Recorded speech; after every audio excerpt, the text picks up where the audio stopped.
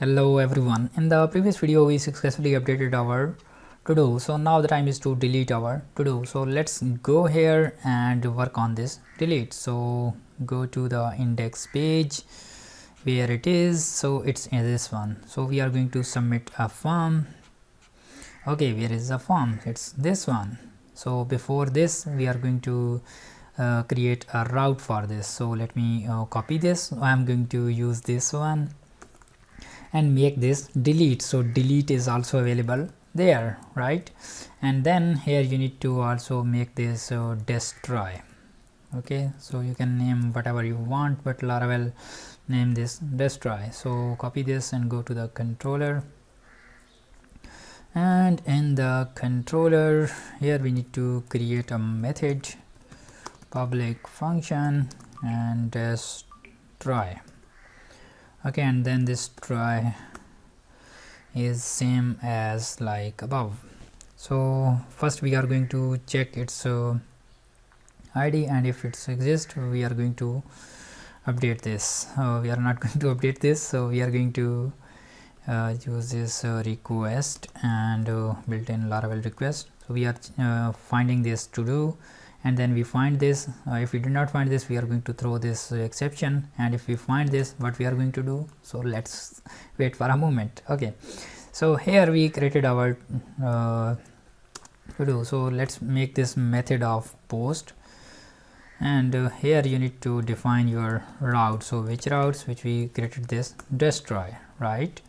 And then this to do id we are going to accept this to do id so also add this csrf token to avoid this 419 error. So give it a refresh. And then here so let's uh, dd your to do which we are getting this from here like this one. So click on this delete. So it's going to display it says post method is not supported for this route. So we need to add this delete method here here we need to add this uh, method. And then this method would be a delete method.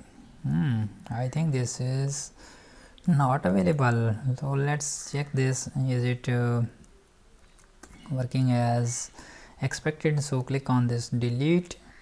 And yes it's printing this. And yes now it's uh, printing our to do so we are going to delete this. So now this delete is working and uh, here we find this to do so now we are going to delete this to do so how we can do this? There is a delete helper. So you don't need to type oh, delete uh, all from uh, delete from where id equal this one. So it's very uh, elegant by laravel. So you don't need to do anything. Okay so here you need to type uh, a delete helper. And then after this delete we are going to print the session and then return the user back right? To do deleted successfully. So you can also say that it's a success. Return this back.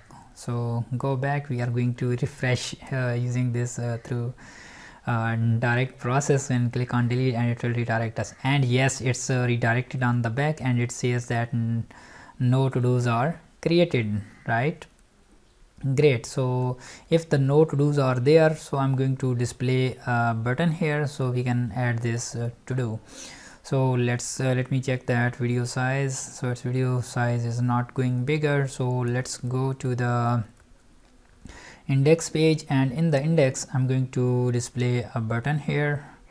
So this button would be the responsible for creating the to-dos. Hmm. Okay okay okay so where I need to add this. So I need to add this. To this here uh, you can see that it would be uh, create. Here you can say that create to do. And then this will be going to this uh, create to do page. And uh, let me assign this uh, class. Btn btn sm btn info. Okay info and save this one and give it a refresh.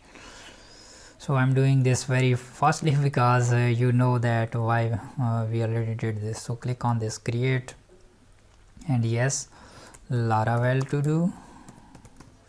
Okay laravel description. So submit this and yes it's submitted and it's incomplete. So let's again add this php php description submit it.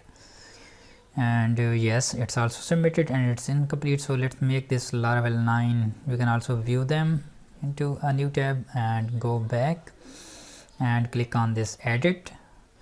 And yes now we can edit this stuff. So i'm going to this laravel 9 so laravel 9 to do select the option completed. So click on this update.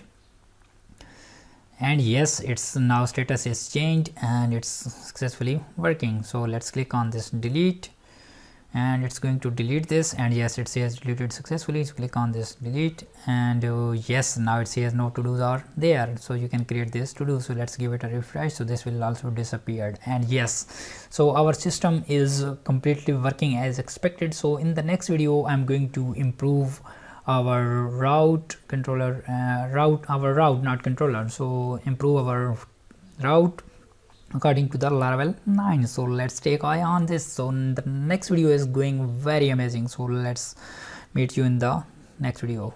Bye bye